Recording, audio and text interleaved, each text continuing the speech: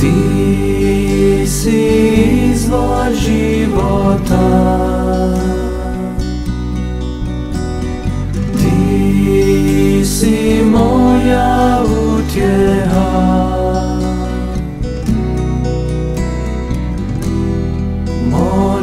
te Isuse.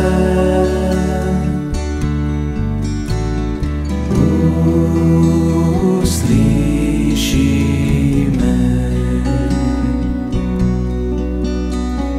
Io ti amo Gesù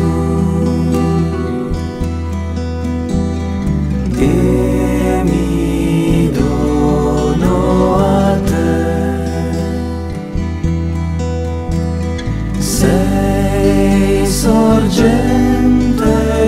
vita.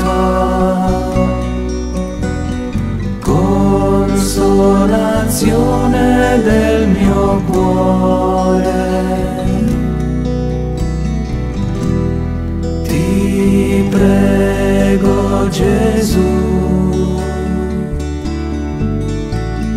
Ah,